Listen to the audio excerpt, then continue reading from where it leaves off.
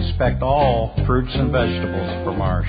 This yellow line says it all. Nothing crosses this line unless it passes our tests for size, ripeness, and sugar content.